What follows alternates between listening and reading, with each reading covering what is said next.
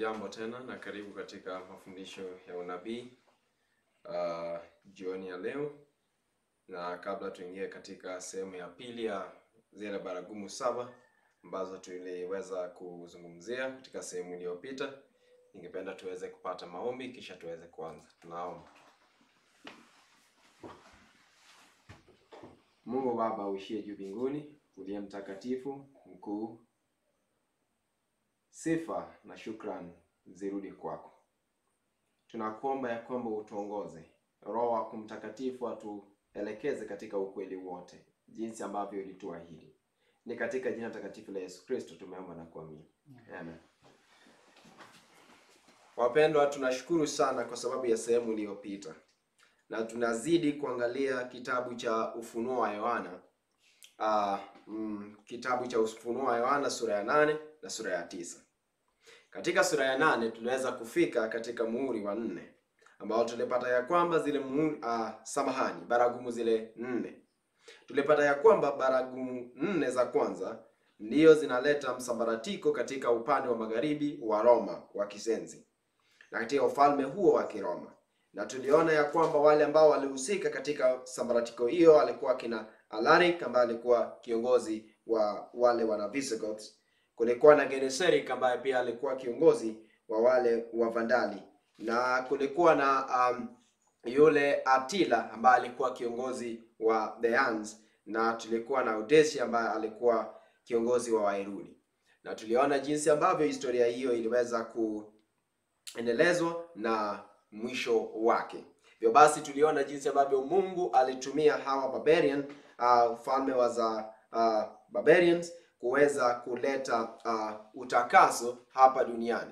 Maana ndiyo tuliona ya kwamba Biblia inasema ya kwamba kisha yule malaika akaangusha akaangusha kile uh, chitezo ambayo kilikuwa kimejazwa uh, kimejazwa moto ambao kilikuwa kimetoka pale katika madhabahu ya dhahabu.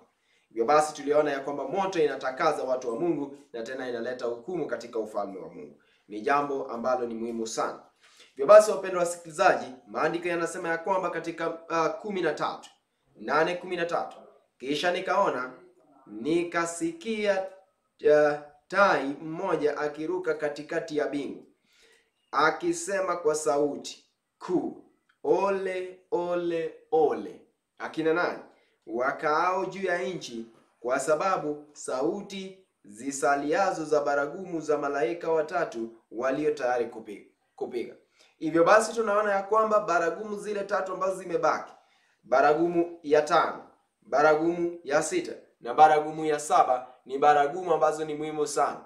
Hasa nitaweza kuzingatia baragumu zile mbili ambazo ni za mwisho, baragumu ya sita na baragumu ya, ya tano, na tutaweza kuangalia katika historia jinsi ambavyo historia hii ya baragumu kuweza kupigwa iliweza kuendelezwa katika historia ya dunia hii.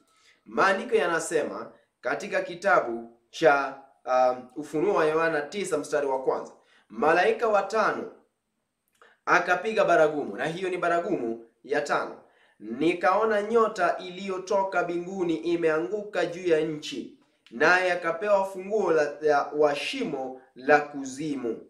Sasa nataka tuone ya kwamba zile baragumu tatu za mwisho zinaitwa woes ama ole. Ndio maana unaona pale imeweza kutajwa ole tatu. Ole wa kwanza ulikuwa ni ole ambao ulikuwa unatangaza uh, nyakati za Waislamu ama Uislamu, ya kwamba ile ole ya kwanza inafananishwa na Uislamu, the Islamic invasion. Ole la pili inafananishwa na Uturuki Uturuki, Turkey ama the Ottoman Empire. Ole ya mwisho ambayo ni ya saba inasimamishwa inafananishwa na um, inas, inafananishwa na um, ufalme wa Kristo.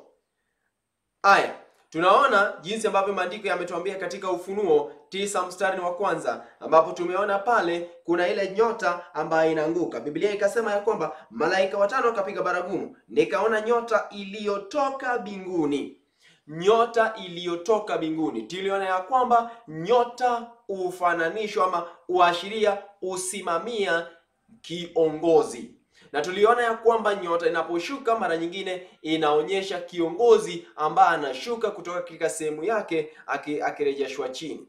Hebu tuone kitabu cha Ufunuo moja mstari wa ishirini ambapo tunaona ya kwamba nyota unaashiria nini, mahali ambapo tuliambiwa ya kwamba zile nyota saba ni wale malaika saba ambao wako pale mbinguni, ambao wako pale mbinguni na walitumwa ili wahudumie makanisa yale saba. Hivyo basi nyota pia inaweza onyesha kiongozi. Kwa nini? Tunaona pia katika kitabu cha Ufunuo kumi na mbili Ufunuo kumi na mbili na tuliona samani uh, Ufunuo kumi na mbili tuliweza kuona mstari wa saba ya kwamba kulikuwa na vita kule mbinguni, na mstari wa nne ilisema hivi, na mkia wake ukawaka wakakokota theluthi ya nyota za mbinguni, ambao tulijua ya kwamba ni um, nyota zile za mbinguni zilikuwa zinaashiria nini? Zilikuwa zinaashiria uh, uh, malaika ambao waliweza kuasi kule mbinguni wakatupa hapa chini. Sasa tunaona pale ya kwamba baragumu ya tatu ilipolia Biblia, uh, ya, baragumu ya tano ilipolia, kisha Yohana akaona nyota iliyotoka mbinguni imeanguka juu ya nchi. Hivyo basi nyota hapa ambayo tunaona imetoka mbinguni ni yule kiongozi wa dini ambayo imeasi, an apostate or a false religious leader. Ni kiongozi wa dini iliyo asi dini ya tunaweza sema ni ukafiri, uh, dini iliyoasi. Hivyo basi angalia katika kitabu cha Yuda moja kumi na tatu Yuda moja kumi na tatu maandiko yanasemaje? Yuda moja kumi na tatu maandiko yanasema hivi ni mawimbi ni mawimbi ya bahari uh, yasiyozuilika yakitoa aibu yao wenyewe kama povu, ni nyota zipoteazo, ambao weusi wa giza ndiyo akiba yao waliowekwa milele. Hivyo basi tunaona ya kwamba nyota unaoanguka unaashiria ama unasimamia uh, kiongozi wa dini ambao umeasi. Haya, tunataka kuona kwa sababu shetani mwenyewe alikuwa mmoja wa wale malaika ambao alikuwa wanahudumia Mungu, lakini wakati ambao aliazi aliweza kutupwa hapa duniani. Hivyo basi kuna jambo lingine ambalo liko pale. Na bado tunazidi kusoma katika Ufunuo tisa. Mahali ambapo maandiko yanasema hivi: ile nyota iliweza kutoka binguni ikaanguka juu ya nchi, na akapewa ufunguo wa shimo la kuzimu, akapewa ufunguo wa shimo la kuzimu. Hivyo basi shimo la kuzimu, kuzimu inamaanisha nini? The bottomless pit ama abyss inamaanisha nini? Kwa sababu Biblia inasema ya kwamba alipewa funguo wa shimo la kuzimu. Hebu angalia katika kitabu cha Ufunuo kumi na moja mstari ni wa saba. Ufunuo kumi na moja mstari ni wa saba. Maandiko yanasemaje katika Ufunuo kumi na moja mstari ni wa saba? Inasema hivi, hata watakapoumaliza ushuhuda wao, yule mnyama atokaye katika kuzimu atafanya vita nao, naye atawashinda na kuwaoa. Hebu tazama tena kitabu cha Ufunuo ishirini mstari wa kwanza. Ufunuo Yohana ishirini mstari wa kwanza inasema hivi kisha nikaona malaika akishuka kutoka binguni mwenye ufunguo wa kuzimu na mnyororo mkubwa mkononi. Tunaona ya kwamba pale katika Ufunuo ishirini neno lile limetumiwa mara mbili kuonyesha ya kwamba shetani kuonyesha uh, ulimwengu ulimwengu huu ama dunia hii, wakati ambapo shetani amefungwa katika jela ya dunia hii kwa miaka elfu moja. Hivyo basi tunaona ni wakati ambapo hakuna binadamu ambaye shetani anaweza kujaribu. Ni wakati ambao yumo hapa duniani peke yake akirandaranda hapa na pale akitafuta yule ambaye anaweza kumvamia ama kumjaribu, lakini asipate. Hivyo basi tunaona pale neno lile ambayo tumeweza kusoma ambayo ni uh, ni shimo la kuzimu linaashiria ama kusimamia dunia ambayo haina watu bali iko shetani peke yake akitembea tembea, yani ni nyumba ya gereza ya shetani kwa miaka elfu moja. lakini tuliposoma katika kile kitabu cha Ufunuo tulipata ya kwamba yule mnyama pia alitoka kuzimu, na tutapata kuzimu kunamaanisha nini. Aya, basi pia tunaona ya kwamba kile ambacho kimetumika pale, pia maandiko yanasema ya kwamba alikuwa na ufunguo. Ufunguo unamaanisha nini? Kabla niweze kueleza ufunguo, tuwajua ya kwamba Uh, uh, Waislamu wanasema, ninaposoma katika The Islamic Foundation Quran 1973 page 41, ambapo uh, ni toleo ambalo liko pale Nairobi, linasema one modern Muslim writer describes Arabia as the abyss of darkness, ya kwamba kule Arabia ndiye uh, uh, ndiye shimo ambayo Biblia inasema ya kwamba ni la kuzimu. Hivyo basi tunaona ya kwamba kulingana na Waislamu ya kwamba ile shimo la kuzimu iko pale Arabia. Hivyo basi tunaona ya kwamba tutaweza kuondoa hapa na pale, na tuangalie kama uh, historia pia inakubaliana na nini, inakubaliana na unabii wa kibiblia. Hivyo basi tumeona ya kwamba kulingana nao, tunaona ya kwamba kule Arabia, kwa sababu walikata uh, ukweli kuhusu Mungu mmoja na mwana wake Yesu Kristo, na wakakata sheria zake na wakakata mwana wake ambaye alitufilia msalabani, basi kumekaa kama kuzimu, yaani kuzimu, mahali ambapo watu ni wakafiri, wakubali ukweli ulioko ndani ya Biblia. Aya, ufunguo ule unamaanisha nini? Ama the key inamaanisha nini? Sikiza, ule ufunguo unasimamia nguvu nguvu ambayo ina, ina, ina, tunaweza sema ni uwezo wa kuweza kuweka wazi ama kufungua. Tunapata ya kwamba hakuna nguvu ya kuweza kufanya nini? Hebu angalia maandiko yanasema ya kwamba moshi ukapanda kutoka mle shimoni kama moshi wa tanuri, tanuru kubwa, jua na anga vikatiwa giza kwa sababu ya ule moshi wa shimo. Hivyo basi alikuwa na nguvu ama ufunguo wa kuweza kufungua moshi ambao ulikuwa umezima ama umetia giza nini, jua na tena hali ya anga. Ndiyo maana Biblia inasema ya kwamba kwa sababu ya ule ule moshi wa shimoni, uh, jua na anga vikatiwa giza kwa sababu ya ule uh, kwa sababu ya ule moshi na shimoni. Tena tunapata ya kwamba jua pia linasimamia Kristo wenyewe ambaye ndiye mwangaza ama ukweli wa dunia yote, ambao pia anaitwa jua la haki. Ukisoma katika kitabu ni kitabu cha kitabu cha Malaki tatu mstari ni wa uh, sijui kumi ama kumi na sita pale. Hivyo basi wacha tuone tena, kuna pale maandiko yanasema ya kwamba nzige wakatoka katika ule moshi wakaenda juu ya nchi wakapewa nguvu kama nguvu ya uh, nguvu walio nayo ng'e wa nchi. Sasa nzige wanasimamia nini? Ma maana tunaona ya kwamba nzige walitoka katika nini? Walitoka katika ile moshi. Uh, they came out of the smoke locusts upon the earth. Hivyo basi nzige tunaambiwa walitoka katika ile moshi lakini tutaona katika Biblia ya kwamba nzige unafananishwa na akina nani? Tuangalie kitabu cha Waamuzi saba mstari wa kumi na mbili. Uh, Waamuzi saba kumi na mbili. Angalia Biblia inasemaje? Waamuzi saba kumi na mbili. Waamuzi saba kumi na mbili, maandiko yanasemaje? Naona ya kwamba hali ya mvua si shwari anga si shwari kwa sababu ya mvua, lakini Mungu atazidi kutuongoza.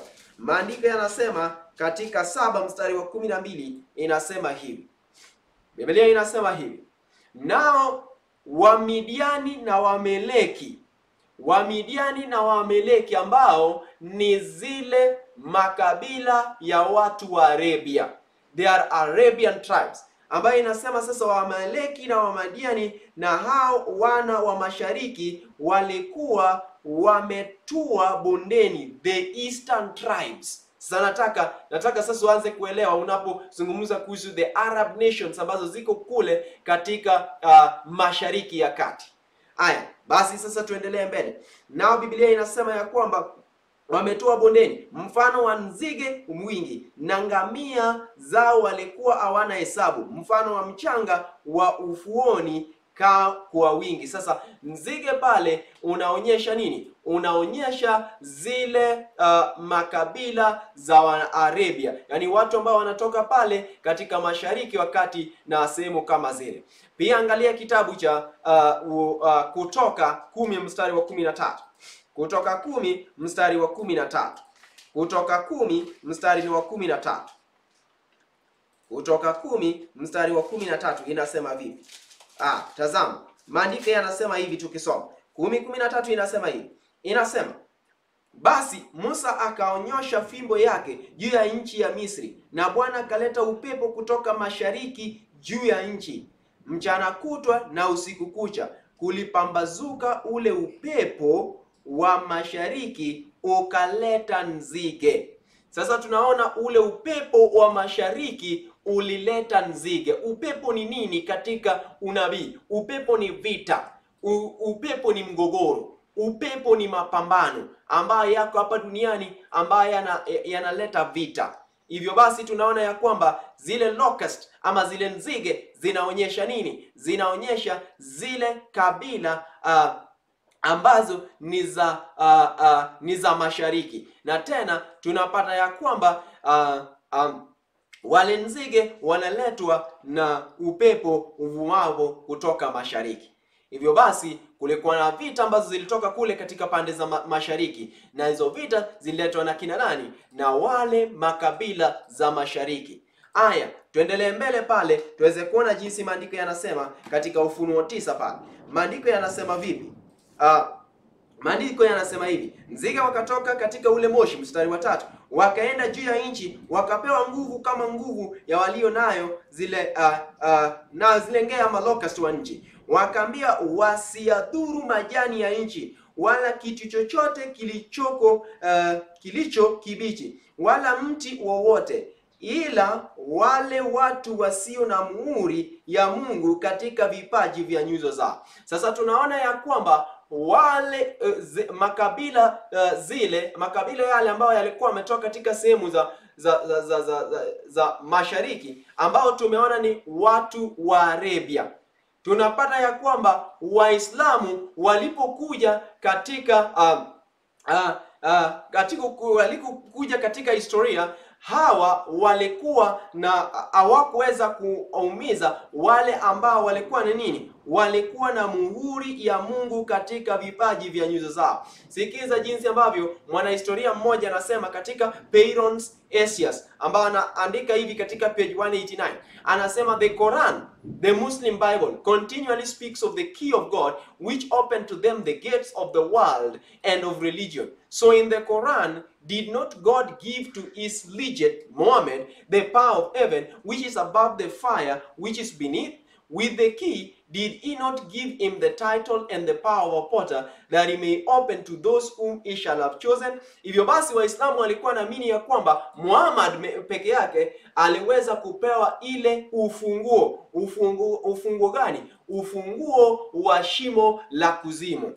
Haya, tuendelee mbele. Tunapata Edward Gibbon, mwana historia mwingine, anaandika katika Decline and Fall volume 5 page 396 hadi 397. Nasoma kwa kimombo, anasema each year during the month of Ramadan he Muhammad would withdraw from the world and in the cave of Era 3 miles from Mecca he consulted the spirit of fraud or enthusiasm whose abode is not in heaven but in the mind of the prophet. Hiyo ilikuwa udanganyifu, a mighty deceit, ambao watu wengi walikuwa nadhani, hata Muhammad mwenyewe alikuwa nadhani ya kwamba alikuwa anapokea roho kutoka kwa Mungu, lakini inasema ya kwamba alipoenda katika ile uh, shimo la Era ambayo ilikuwa maili tatu uh, uh, kutoka Meka, alikuwa anazungumza na roho ama pepo za uchafu ambayo ilikuwa na udanganyifu ambao haukuwa unatoka kule mbinguni, lakini ilikuwa mawazo tu ya yule nabii. Mpendwa msikilizaji, maandiko yanasema unapoona pale katika kitabu cha Ufunuo tisa kumi na moja maandiko yanasema ya kwamba tisa kumi na moja inasema hivi na juu ya na juu yao wanaye wafalme naye ni malaika wa kuzimu, jina lake kwa Ibrania ni Abadoni, na kwa Kianuni analo jina ya Apo, a, a, a, a, a, Apolioni. Apolioni ambayo inamaanisha the destroyer ama mharibifu. Hivyo basi Uislamu ni dini ya uharibifu. Uislamu ni dini ya vita. Nataka utazame what was Muhammad's inspiration to the Arabs. Alikuwa amewatia moyo vipi? Nataka uelewe jinsi Gibbon anasema katika kitabu kile ambacho tumekuwa tukisoma 466 tukiangalia historia ya Waislamu. As Gibbon records, Muhammad was alike instructed to preach and to fight. Alikuwa ameambiwa ahubiri na apigane vita. And the union of this opposite of these opposite qualities contributed to his success. Hivyo alikuwa na ubiri na vita. Aya, inasemekana ya kwamba his voice invited the Arabs to freedom and victory, to harms and repine, to the indulgence of their darling passions in the world, in this world and in the next. Anasema ya kwamba the Saracens ambao walikuwa wale wa Arabu ambao tena walikuwa wale Waislamu reduced 36,000 cities or castles and destroyed 4,000 churches, wakaweza kujenga uh, uh, wakaweza kujenga 1400 mosque. Hivyo basi tunaona ya kwamba uh, waliweza kujenga zile mosque elfu moja mia nne. Sasa msikiti zile ziliweza kujengwa mahali ambapo aliweza kuharibu uh, uh, makanisa ya wale watu ambao wanaita ni makafiri. Huo ndio tunaona ni ile ole ambao ni ya kwanza ama baragumu ya tano. Aya, tunaona ya kwamba hakika ni ya kwamba Uislamu haikuwa imetoka kwa, kwa Mungu. Uislamu ulikuwa umeanzishwa na yule mtu ambaye alikuwa anaitwa Muhammad, na ndiyo maana tumeona pale Gibbon anasema katika kitabu kile chake cha uh, Decline and Fall volume 5 page 413 hadi 414 ya kwamba 72 black-eyed girls of resplendent beauty, blooming youth, virgin purity and exit sensibilities will be created for the use of the meanest believer. A moment of pleasure will be prolonged to a thousand years, and his faculties will be increased and hundredfold to render him worthy of his felicity. Tunaona ya kwamba mambo ya ukahaba uliingizwa pale, mambo ya kutokuwa na kiasi ilikuwa ni msukumo katika dini ile. Ndiyo maana tunaona ya kwamba dini hii haitoki kwa Mungu. Kwa nini? Angalia kitabu, ni kitabu cha Yakobo. Kitabu ni Yakobo moja kumi na saba. Yakobo moja kumi na saba. Maandiko ya Mungu yanasemaje? Mpendwa msikilizaji, ni wakati wa kuweza kuangalia jinsi maandiko yanasema. Yakobo moja mstari ni kumi na saba na kumi na nane. Biblia inasema vipi? Biblia inasema katika Yakobo moja kumi na saba inasema hivi, kila kutoa kuliko kwema.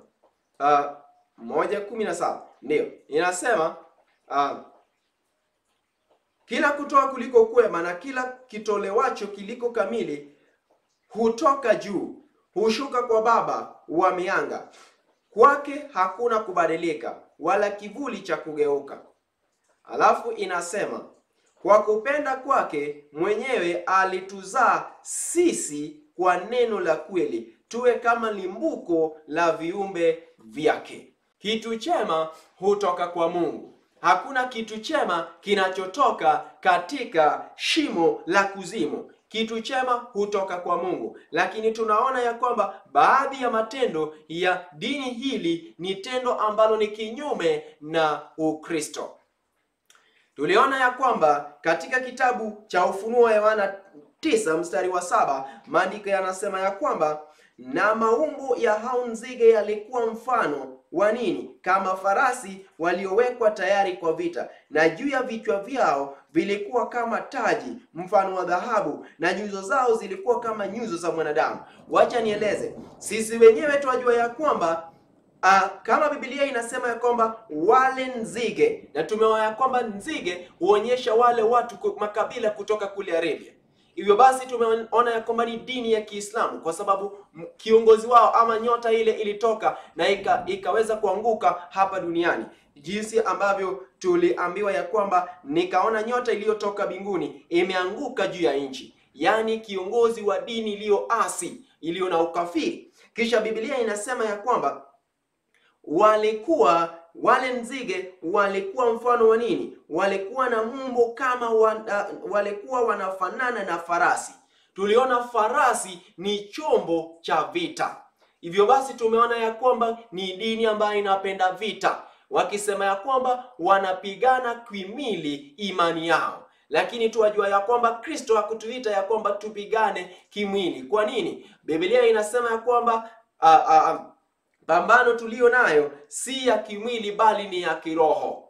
Hivyo basi hatutapigana silaha kwa silaha, bali Kristo kwa kuhubiri neno lake anapata wale ambao wataweza kuungana naye katika vita vya misho hapa duniani. Mpendwa wasikilizaji, tena tunaona ya kwamba walikuwa na taji na taji yao ilikuwa taji mfano wa dhahabu. Tuwapata ya kwamba taji mfano wa dhahabu inamaanisha nini? Taji mfano wa dhahabu ni zile kofia ambao mara nyingi zinaitwa the turbans, ambao tunapata ya kwamba watu wengi hufunga katika vichwa vyao, vilemba ambao wanafunga katika vichwa vyao. Vilemba hivyo mara nyingi kule uh, kwa Waarabu zinakuwa ya uh, ya dhahabu ama mfano wa dhahabu ama rangi ya dhahabu. Sasa tunaona ya kwamba unabii huu unalingana ama unafanana sana na historia ya dini ya Kiislamu. Aya, basi tunateremka pale chini, maandiko yanasema hivi, na nyuzo zao zilikuwa kama nyuzo za mwanadamu. nyuzo za mwanadamu, yaani hiyo inamaanisha nini? Mtu mmoja akaweza kuandika akasema ya kwamba his breast is fortified with the astral virtues of courage, patience and sobriety. The gravity and the firmness of the mind is conspicuous in his outward demeanor. His speech is low, weighty and conscious. He is seldom provoked to laughter. His only gestures is that of stroking and and his bed the venerable symbol of manhood. Alafu anaendelea mbele akisema hivi uh, unaposoma nasoma Eliot footnote on Revelation anasema they add air as the air of women. What is significant about women's air? Biblia inasemaje? Hebu tuweze kusoma katika kitabu cha Wakorintho 11 14. Wakorintho wa kwanza 11 14. Wakorintho wa kwanza 11 14 inasema vipi? Inasema hivi, sikiza. Inasema, je, hayo maumbile yenyewe haya hayawafundishi ya kwamba mwanamke akiwa na nywele ndefu ni aibu kwake, lakini mwanamke akiwa na nywele ndefu ni fahari kwake, kwa sababu amepewa zile nywele ndefu ili ziwe badala ya mavazi. Hivyo basi tunaona ya kwamba uh, uh, wacha nisome pale, akiendelea chini anasema hivi five authorities record the fact that the Arabs of Muhammad's day literally wore long hair. In the famous Antar poem written at the time of the Arab invasion, it said he adjusted himself properly, twirling his whiskers, fold, folding up his hair under his turbans, drawing it from off his shoulders. Again, his hair followed down his shoulders. Again, we will hang him up by his hair. Sasa hivyo twaona ya kwamba alikuwa na nywele na maandiko yana kwamba na juu ya vichwa vyao vilikuwa kama taji wa mfano wa dhahabu na nyuso zao zilikuwa kama nyuso za mwanadamu. Hivyo basi tunaona mstari wa nane inasema ya kwamba nao walikuwa na nywele kama nywele za wanawake. Sasa unaona pale, nao walikuwa na nywele kama nywele za wanawake. Tunaona historia inaambatana na Biblia, historia inaambatana na unabii. Sasa tukiona historia inakubaliana na unabii, basi tunaona ya kwamba unabii huo ulitimika hakika. Tena tunajua ya kwamba meno yake ilikuwa vipi? Sikiza, maandiko sasa yanasema, na meno yao yalikuwa kama meno ya simba. Meno ya simba, walikuwa na ujasiri, walikuwa na uharibifu. Waarabu walikuwa wakivamia na kuharibu uh, walikuwa na kuvamia na kuharibu, walikuwa na nguvu na ujasiri. Hivyo basi wana wanawakilishwa wana, hapa ama, ama, ama wana, wanafananishwa hapa na meno iliyokuwa kama meno ya simba, ama unaweza ona pale, nao walikuwa uh, Uh, nao uh, na meno yao yalikuwa kama meno ya simba. Mstari wa tisa inasema nao walikuwa na dirii kifuani kama dirii za chuma. Tunajua ya kwamba walikuwa na dirii kifuani kama dirii ya chuma. uh, tunajua ya kwamba tumeona ya kwamba kulikuwa na nzige ambazo waliweza kuvamia. When locust swarms out into the countryside, their sound is similar to the sound of chariots charming to the battle. This aptly described an Aram army of cavalry rushing into battle, from which they were famous and by which the great terror was brought into the world of today. Na hivyo ndio maana walipoenda katika vita waliweza kuvaa dirii za kifua. Hivyo basi tunapata ya kwamba kila sehemu ya unabii huu ni sehemu ambayo unazungumzia Waislamu ama dini ya Kiarabu. Hebu tuendelee pale pale mbele, inasema hivi: nao wanamikia kama ya ngee na miiba ama scorpion. Kwa wale ambao hawajui ngee ni scorpion na miiba, na nguvu yao na nguvu yao ya kuwadhuru wanadamu miezi tano ilikuwa katika mikia yao. Nguvu yao kuweza kuwadhuru watu kwa miezi tano ilikuwa kwa mikia. Hivyo basi tunaona ya kwamba wameonyeshwa kama nini? Kama wale ambao hawana huruma. Uchungu wa uvamizi wao imeonyeshwa na ile uchungu wa kuweza kudungwa ama kuweza kuumwa na ule nge. na Biblia inasema ya kwamba wale watu walikuwa ama, ama Biblia inasema ya kwamba nguvu zao ilikuwa ikitoka katika mikia. Wacha nataka tuelewe uh, ya kwamba uh, nguvu yao ilikuwa kwa muda upi. Sikia, tulipata ya kwamba wale wana ama wale watu wa Arabi kutoka kule uh, pande za mashariki, tunapata ya kwamba kwa muda wa miaka uh, mia moja na hamsini. Kwa nini tunasema hivyo? Miaka mia moja hamsini. Kwa nini tunasema hivyo? Tunasema hivyo kwa sababu tunajua ya kwamba maandiko yanasema ya kwamba uh, mwezi moja ina siku thelathini. Hivyo basi miezi tatu ama tano itakuwa thelathini. Tukipiga mara tano tunapata ya kwamba ni 150. Hivyo basi uh, siku mia na hamsini ina uh, tukifanya hiyo hesabu tunapata ni miaka mia moja na hamsini kulingana na uh, kitabu cha kulingana na kitabu cha Hesabu uh, 14 34 na kitabu cha uh, Ezekieli 4 mstari wa sita. Hivyo basi historia kidogo kuhusu Muhammad. Ya kwamba alizaliwa mnamo mwaka 570 na alikuwa ametoka katika familia yenye ilikuwa na ufukara, na tunajua ya kwamba back then the Arabs felt no duty or loyalty to any group rather than his own tribe. Aside from the loose authority of the clan leader the sheikh earlier called the sheikhs there were no rules. Anything could be done including robbery and murder as long as it helped the tribe Indeed, war was something with which they were already acquainted. When not busy with other duties, the Bani occupied themselves with the tribal war. They called uh, them ra uh, razzias or raids. By, um, but by mutual agreement, at certain periods of the year, everyone would maintain a holy truce so they could attend religious feasts or attend to their crops and other needed uh, activities. The rest of the time, the bearing fight uh, with one another or robbed travelers who did not pay the, uh, them the tribute.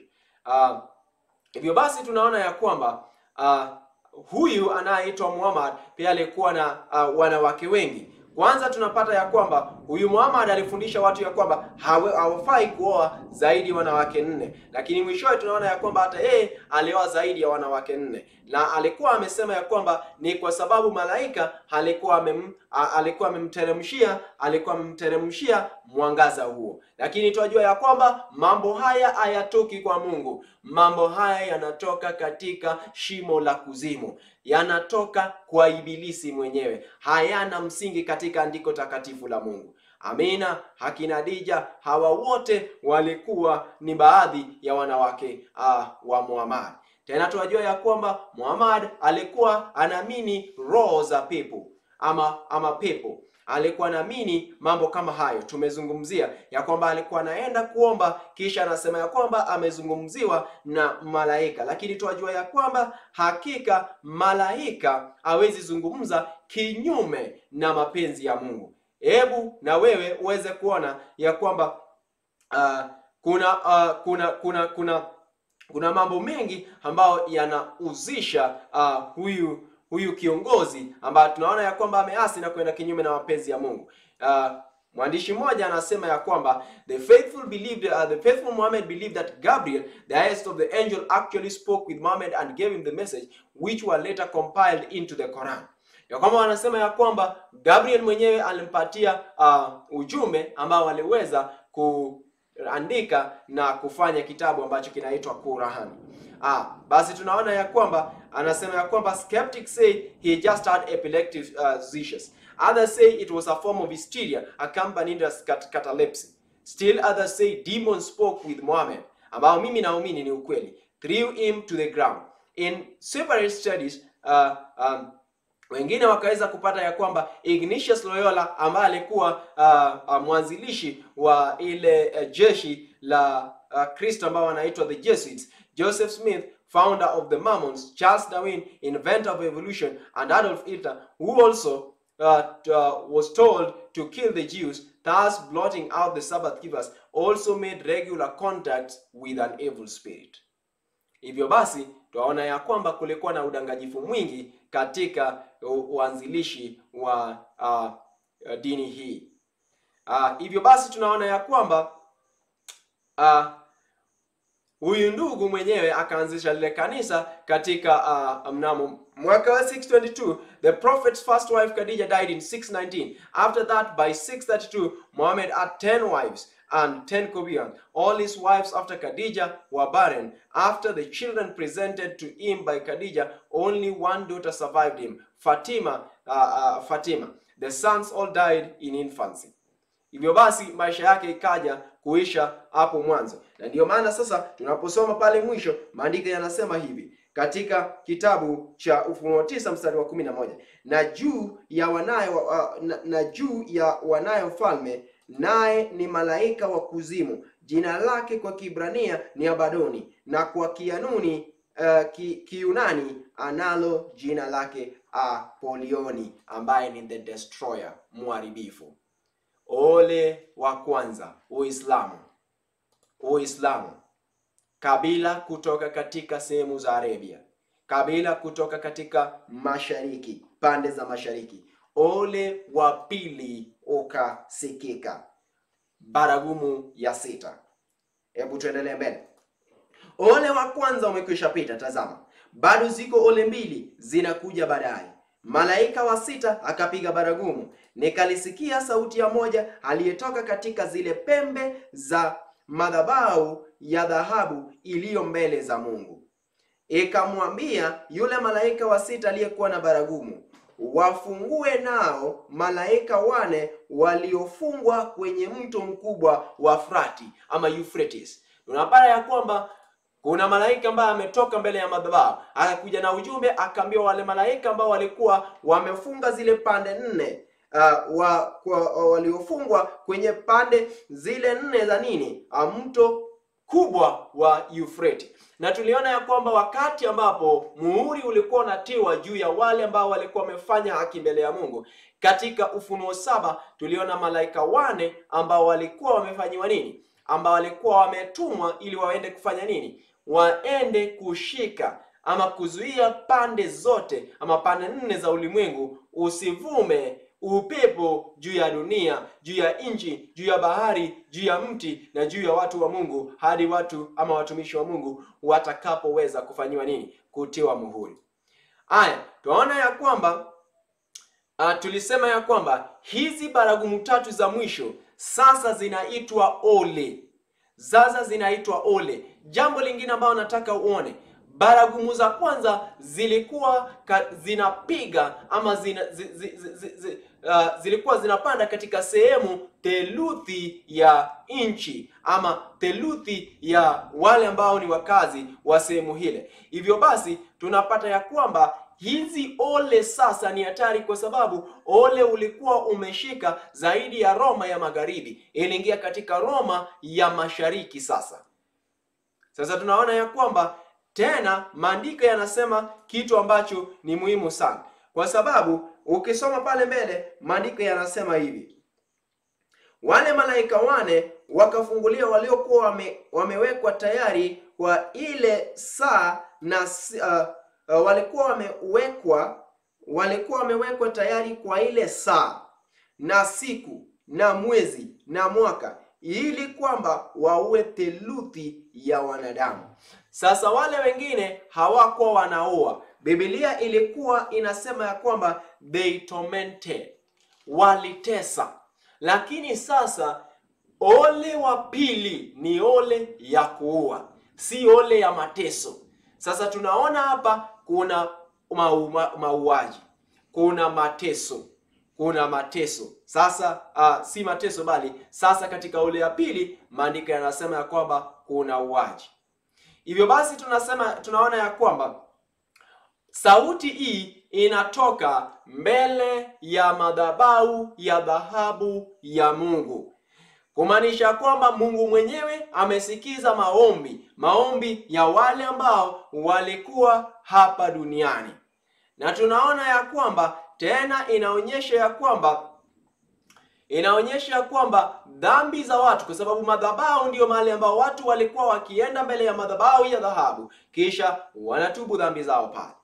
Hivyo basi tunaona ya kwamba katika sehemu hii tunaona hata katika historia ya a, a, a, a, Abel na Kain ya kwamba a, kilio cha a, a, damu ya Abeli ilikuwa imeweza kumfikia Mungu.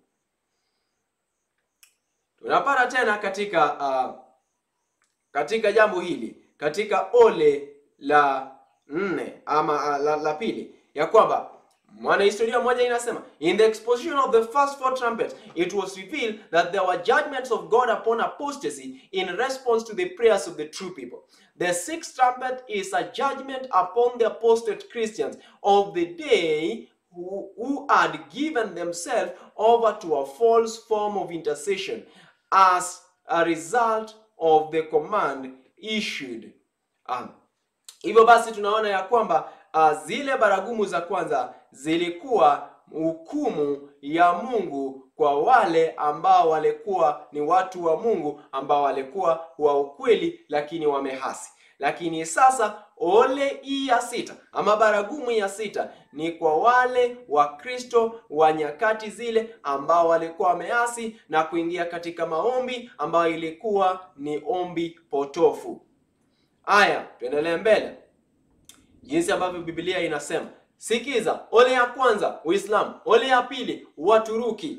Hivyo basi tuna, tunaendelea mbele. Aya, Biblia inasema hivi, wale malaika wane walifunguliwa, mstari wa kumi na saba wa kumi na sita na hesabu ya majeshi ya wapanda farasi ilikuwa elfu ishirini mara elfu ishirini nilisikia e, e, e, nilisikia hesabu yao. Aya, tuendelee pale mbele tunajiuliza ya kwamba ya kwamba Yufrati ilikuwa inamaanisha nini? Neno Yufrati inatumika katika inaweza tumika katika njia mbili, na tena tunajua ya kwamba tunajua ya kwamba uh, katika kitabu cha Isaya, hebu angalia kitabu cha Isaya kumi na saba kumi na saba kumi na mbili hadi kumi na tatu Isaya kumi na saba kumi na mbili hadi kumi na tatu inasemaje? Isaya kumi na saba kumi na mbili hadi kumi na tatu Samani, sijafika pale. kumi na saba kumi na saba kumi na mbili hadi kumi na tatu inasema hivi: Aha, uvumi wa watu wengi wanavuma kama uvumi wa bahari. Aha, ngurumo ya mataifa wananguruma kama ngurumo ya maji mengi. Mataifa wananguruma kama ngurumo ya maji mengi, lakini hatawakemea, nao watakimbia mbali sana. Watafukuzwa kama makapi milimani mbele ya upepo, na kama mavumbi vuru vuru mbele ya tufani. Hebu sasa angalia Isaya nane Isaya nane Isaya nane Isaya nane saba hadi nane inasema vipi? Saba hadi nane inasema vipi? Inasema hivi: basi sasa angalia, Bwana leta juu yao maji ya huo mto yenye nguvu mengi sana, nao ni mfalme wa Ashuru na utukufu wake wote, naye atakuja na kupita juu ya mfereji yake yote, atafurika juu ya kingo zake zote. Hivyo basi tunaona ya kwamba Yufreti ya kwamba ilikuwa inaonyesha inaonyesha ile boundary ambayo ilikuwa kati ya Waisraeli uh, ya ukweli, literal Israel. It designated the boundary of literal Israel. Tena tunajua ya kwamba ilikuwa pia inatumika kama uh, any power invading Israel from the north eh, lazima wangeweza kupita pale, lazima wangeweza kupita pale. Sasa kama kuna uh, kulikuwa na uh, falme yoyote ambayo ilikuwa inataka kuwateka nyara wana Israeli lazima wangepita uh, kutoka katika upande wa uh, kuzini uh, kaskazini kuzini, lazima wangeweza kupita katika ule mto wa Yufrati. na tena twajua ya kwamba uh, ule mto wa Yufrati unatumika katika njia nyingine ya kuweza kusimamia uh, zile uh, zile nguvu ama uh, wale ambao walikuwa mamlakani ambao walikuwa wanatesa, yani the destroying powers uh, ambapo mtu mmoja anasema the word Euphrates according to Dr. Strong means uh, to break forth rushing it seems that this is uh, this is uh, this meaning was based on the fact that when the snow of Mr. Ararat melted, Mount Ararat melted, the Euphrates became a roaring, raging torrent which often overflowed its banks. This phenomenon was employed in the Old Testament to represent an overflowing invading power, jinsi ambavyo tumesoma katika vitabu viwili vya vya uh, nabii Isaya. Mpendwa msikilizaji, tumepata ya kwamba ole ya kwanza ni Uislamu, ole ambao ilikuwa umefuata ni ole wa pili ambao ilikuwa ni ole ya Waturuki, ole ya Waturuki. Ah, hivyo nataka tuone jinsi ambavyo the Turks waliweza kuingia na nataka niweze kusoma nawe katika kitabu kimoja ambacho kinaitwa The Great Controversy ili uweze kuona jinsi ambavyo mambo haya yaliweza ku yaliweza kufanyika katika historia ya dunia. Hebu sasa sikiza jinsi ambavyo maandiko uh, historia eh, ilikuwa inasema.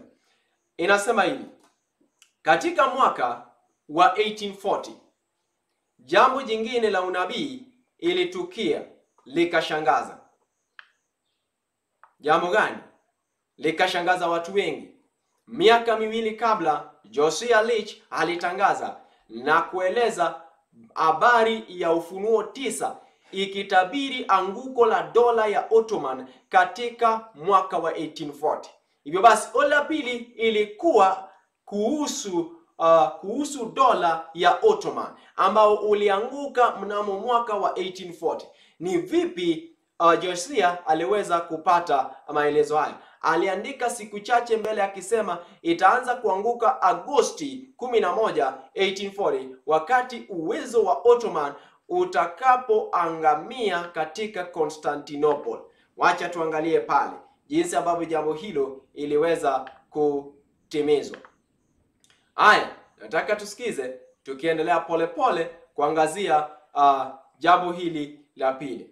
Tumeona pale jinsi ambavyo maandiko yanasema ya kwamba hawa Waturuki walikuwa wakali kushinda nani? Kushinda wale Waislamu. Kwa sababu gani? Kwa sababu walikuja sasa kuua. Ni sehemu ingine ya wale kutoka katika zile sehemu. Aya, Biblia inasema ya kwamba ilikuwa si, uh, saa moja, siku moja na mwaka moja uh, ama, ama mwezi moja na mwaka moja, ambao tukipiga pale tunapata ya kwamba mwaka moja iko na siku mia tatu na sitini. Mwaka moja iko na siku mia tatu sitini. Mwezi moja iko na siku thelathini. Siku moja iko na iko na siku moja, na tunapata ya kwamba saa moja ni saa moja ukigawa na ishirini na nne ambayo tunapata ya kwamba ndiyo masaa katika siku. Utapata ya kwamba ukijumuisha mambo hayo yote unapata ya kwamba ilikuwa ni kwa siku uh, mia tatu tisaini na moja na uh, uh, miaka mia tatu tisaini na moja na siku kumi na tano. Hivyo basi tunapata ya kwamba huo ndio wakati ambao the great Advent, uh, Advent preacher aliweza kutumia kuweza kupata ya kwamba anguko ya Ottoman Empire ama empire hii ya Uturuki itaweza kuanguka. Ilianza hii, anasema hivi, Ottoman began his career of conquest on July 27, 1229. 1299 according to Gibbon ambaye ni mwanahistoria by adding 150 to July 27 1299 Leach brother Leach obtained the date of July 1449 27 on that date John uh, the Roman emperor died and his brother Constantine the uh, 11th was elected in his place however he could not be crowned except by permission of the Turkish Sultan. This revealed that the Eastern Roman Empire had lost its power and independence. It meant that the Turks were now in control. By adding 391 and 15 days to July 27, uh, 1449, Leach obtained the date of August 11, 1840. His conclusion was historically correct as far as the dates were concerned and it was before August 11, 1840 that the infamous Ottoman Empire would end. This world waited and watched. When it's full, uh, it fulfilled the very day, hundreds of infidels were converted to the Christian faith. It was a dramatic fulfillment of Leach's prophecy. Hivyo basi tunaona ya kwamba ilipofika mwaka wa 1840, ilipofika mwaka wa 1840 tuliona ya kwamba ilithibitishwa ya kwamba katika unabii siku moja ni sawasawa na mwaka moja. Hivyo basi hapo ndipo tukaanza kuhubiriwa ujumbe wa malaika wa kwanza na wa pili kwa nguvu sana. Yani it gave impetus to the first and the second angel's message ambao tutakuja kusoma, na katika Ufunuo kumi na moja tutapata ya kwamba mstari wa kumi na nne utazungumzia ule ole watatu ambao ni ufalme wa Mungu kuweza kuwekwa wazi hapa duniani, ambao sasa Biblia inasema ya kwamba falme za hii dunia zitakuwa sasa falme za Kristo mwenyewe. Wapendwa wasikilizaji, ni wakati wa kuweza kuona ya kwamba zile baragumu saba ama zile baragumu za za kwanza sita zinatuelekeza katika kujitayarisha kwa ajili ya ujio wa Kristo wa mara ya pili. Historia ambayo tumesoma haiwezi saidia kama hatuko tayari kupokea Kristo atakapokuja. Mungu na tubariki hadi tutakapokutana katika kitabu ni kitabu cha Ufunuo kumi uh, jioni ya leo. Mungu na tubariki na tuombe. Tunakushukuru Baba Mungu kwa sababu ya mvua. Tunakushukuru kwa sababu ya mvua ya masika ambayo pia umetuahidi utatunyeshea. Tunakushukuru shukuru kwa neno lako, na tunaomba ya kwamba ingawa tumesoma hii historia yote, tusiweze kupotezwa na historia, bali historia iturejeshe kwako, tukiona jinsi ambavyo watu waliweza kuangalia, watu waliweza kutumiwa kwa njia moja nyingine na Mungu ama na shetani. Sisi tuweze kuwekwa wazi kwa, matu, uh, kwa utumishi wa Mungu katika uh, kizazi hiki. Ni katika jina takatifu la Kristo tumeomba na kuamini. Amen. Asanteni sana na mbarikiwe.